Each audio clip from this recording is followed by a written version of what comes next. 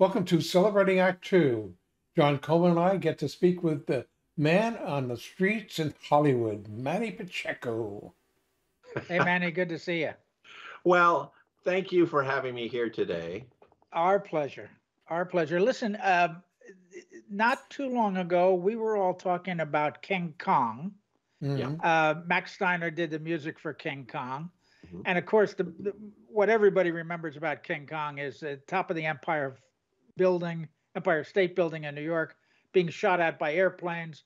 It's a wonderful uh, scene, uh, very uh, um, iconic, I guess. Hmm. Yeah. But it brought to mind the idea that, of course, the Empire State Building is a famous landmark. Sure. It's been used in, I don't know, maybe a hundred different movies because it's so famous. yeah, I can think um, like an affair to remember. It was a character, and then uh, as an homage to that character was Sleepless in Seattle.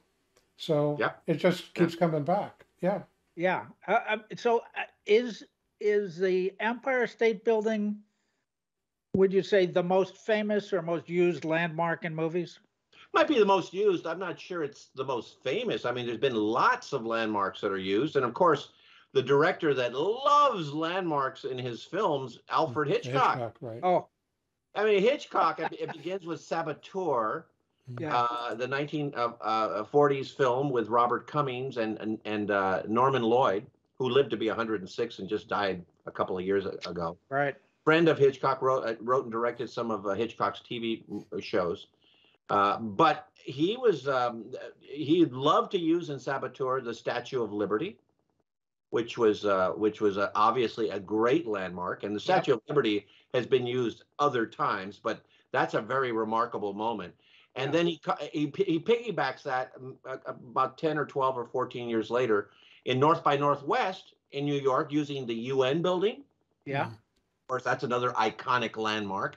And then the the, the big finale at Mount Rushmore. I know, that's- that's a great that. scene. and the, the good scene. story about that is that he asked permission, you know, in South Dakota to use the Mount Rushmore, and they turned him down. So Oh. he just built a Mount Rushmore a set. He, that's a set that he's using. A Really? Yeah. Ah. yeah.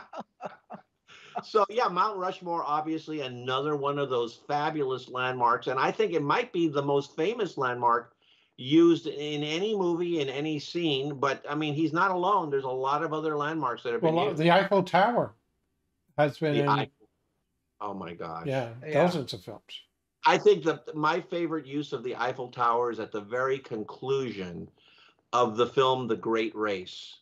You know, with Jack Lemmon and Tony Curtis. Yeah. And to start the race, of course, you know, he has Max, which is Peter Falk, yeah. try to, sh- you know, shoot the, the great Leslie, played by Tony Curtis's car, to smithereens, and he misses and shoots the Eiffel Tower, and it completely comes down. Yeah. I just a just a great scene to end the film, and and a great landmark, the Eiffel Tower. It just desecrated. What's the famous? The famous. Uh, well, there's London Bridge and London Tower, but the, the in in, in Rome, uh, the, uh, the the the fountain that they throw the coins into. Oh, Trevi. yeah, yeah, yeah, of that's course. been in dozens of films. three coins in a fountain. Right. Oh yeah, yeah. Oh no, and that- La Dolce Vita. Right. Yeah, La Dolce Vita, absolutely. But you know, the, the- the Colosseum has been used, obviously, Sure. uh, in in many in many different films. But you know, for me, you just mentioned the London Tower, a, a, a very obscure recent entry that uh, where they where they where they actually showed the London Bridge, not the tower. The Hmm. Tower of London has been used in other ways, but I'll explain that in a second. But the London Bridge was used uh, in the movie Stan and Ollie, uh, where where Hmm. Steve Coogan points out, he goes, "Oh, we're here. We finally made it to London, and there it is, the Eiffel Tower." Typical Stan Laurel kind of humor, which Mm. which is which is really really good. Now a little a little bit of trivia here, Manny, for you. The bridge that is called the London Bridge is really named the Tower Bridge in London. Oh, well, there you go. And it's the one with the big towers and the the netting go you know, I mean the walkway across the top and all that. That's the technically it's called the Tower Bridge. Everybody, particularly Americans, call it the London Bridge. Sure, sure, sure. Yeah. I as far as the Tower of London goes, obviously a lot of historical dramas have, have, have taken yeah. place. Uh, Anne of a Thousand Days, A Lion in Winter. Sure. Yeah, these are you know all these historical biblical things. When you know if, if it involves Elizabeth the First and and Henry the Eighth, you, you know you're going to end up at the Tower of London. But if you're talking about Buckingham Palace, obviously the, the more recent entry, Helen Mirren and the Queen. That uh, yes. Buckingham Palace is used there, and and absolutely um, wonderful. The, uh, an opening scene of an early, uh, uh the last. Uh, no, not the last Alfred Hitchcock. I want to not not Alfred. I'm sorry, Sherlock Holmes. One of the Sherlock Holmes, I believe it was called Terror by Night. Hmm. They show a picture of Big Ben to open. To yeah, I was going to say Parliament. Parliament has often been used, but more is just yeah. sort of passing uh, uh, landscape. Uh, one of the the key landscape landmarks would be in Notre Dame, and we see that all over the place. sure, sure. and yeah. most famous, the Hunchback of Notre Dame. Yeah. Uh, it takes place throughout the entire the entire church. Mm-hmm. Yeah, that uh, and even it's even portrayed in animation. You know, Disney actually portrayed it as well. Mm, yeah. So if we're back in France, of course, the Seine. The Seine is used remarkably well in an American in Paris. You know, very famous. Where, where the famous uh, "Our Love Is Here to Stay" number yeah. is mm. right in front of the Seine, and so and, and of course, uh, "Summertime" with uh, with with with Katharine Hepburn, where she falls famously into it, and ends up with pink eye the rest of her life because yeah, really? she had she had eye problems after that the rest of her life because she fell into the Seine. Uh, and and of course, even little place. How about back home? Let's talk about back home. Okay. If you watch the climax of Blazing Saddles, where does it take place? In front of Grauman's Chinese Theater. Yeah. Hedley Lamarr. right? So I mean, Grauman's is is an iconic landmark. I mean, that really spells out Hollywood.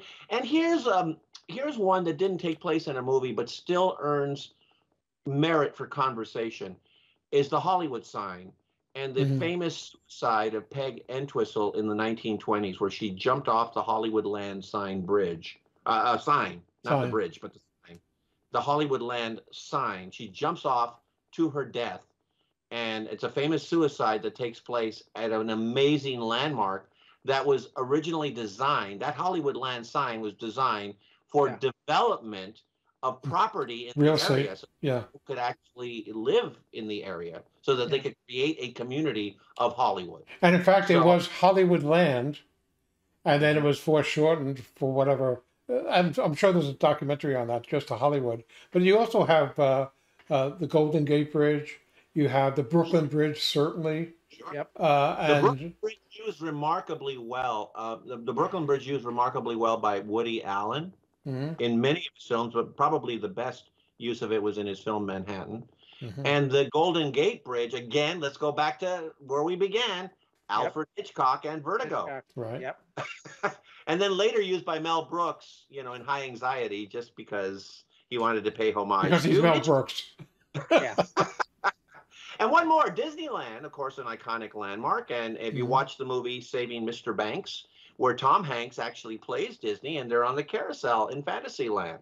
Yeah, kind of cool. And in front, of, and they're actually in front of Disneyland uh, with uh, with uh, with PJ Travers, of course, the writer of uh, of um, Mary Poppins, and played by Emma Thompson. So yeah, right. Disneyland. Great movie. Used, just so many wonderful landmarks that we can talk about all day long that have been used so well in so many great films, and it's I, I think it's important to pay tribute to the geography and the and the landmarks uh, that, that exist. I mean, I mean, if, one more I want to throw out. How about the Sphinx? I think was used in the Mummy with Brendan Fraser. So I mean. mm. So I mean, there there are just a lot. The pyramids were used in the original Mummy with with Boris Karloff. Just so many landmarks. I mean, we could just go on and on. Yeah, yeah. Well, they they make for great drama because they're so well known, and they have such they bring with them, uh, bring with the image, they bring a, a certain feelings to to mind. So, they're, sure. of course, they're g- always going to be in demand for certain kinds of movies. And you Yeah. just keep thinking, thinking. You think, wow, the, the Vegas Strip in Ocean's Eleven. You get Yes. to see that overall look of the Vegas Strip, and it's Ocean's Eleven. It's Frank Sinatra. It's Dean Martin. It's Sammy Davis Jr. And it's like, wow, that is so iconic. I don't know if they have an early copyright on it, and maybe you can just come up with a half a dozen examples. But even though it's an iconic image of New York City, I don't remember ever seeing too many of the Chrysler Building in No, in a movie, and it, it may be. I seem to remember somehow it was copyrighted. Uh, but the whole landscape of, of, of that of that skyline and everything at the very beginning of West Side Story. mm, It's absolutely remarkable. It's just it's fabulous. Yeah. The new West Side, West Side Story. Oh, the old the old original, the original West Side. Oh, I yeah, yeah. Uh, a movie uh, called The Hot Rock with uh, uh, with Robert Redford and George Segal. They fly through the skyline. Wonderful little film. Hmm. Yeah, and they fly through the skyline of of, of New York. So Yeah. there's, there's that. And if you want to talk about Chicago Sears Tower, how about that one wonderful scene in Ferris Bueller's Day Off where they're looking down from the Sears Yeah. Tower? That's mhm. kind Yeah. of cool. Yeah, yeah. So I mean, yeah, uh, landmarks are important in films, and I I think they give a, a- a film some sort of a direction of where people are. Yeah, yeah. Well, they do make the film seem more grounded in reality too, Yes. Yeah. Yes, that's a great. because other yeah. than Alfred Hitchcock, uh, you can't rebuild these things. Other than Alfred Hitchcock, you can't rebuild. I got to think Well, about eh, on on the uh, uh, in the North Dakota, what's the uh, the South? Dakota. that he- Sou- South Dakota, uh, Mount South Rushmore. Dakota. Thank you. He rebuilt that. You told us. I don't know. I think if Steven Spielberg needed to build something or Martin Scorsese, they might just build Yeah. it. So I'm not sure that Well, it's okay. Hitchcock. or or Niagara Falls. Niagara Falls has been used a lot. Oh sure. my Yeah. gosh, you're, you're not kidding on, on Niagara Falls right now. I just saw that movie, A Man Named Otto, which a wonderful look at Niagara Falls. Also in the film of 1953, I believe, with uh, Joseph Cotten and Marilyn Monroe, called Niagara. And of Mhm. course, they use Niagara Falls as the backdrop. Yeah, backdrops, uh, landmark backdrops make for exciting additions to great scripts and great acting. I'll, Yeah. I'll go with that. Wow, this is a tasty little, you know, journey. Nugget. little side It's a trip from what we normally do. Not people, but buildings. I know. I agree. I think it was fun. Let's go. Yeah. Let's go someplace now. I'm ready. Thank you, Manny. You're welcome. See you soon. For more on Celebrating Act Two, visit our webpage, follow us on Facebook, subscribe to us on YouTube, and tell your friends. Celebrating Act Two is the user manual for the second half of your life.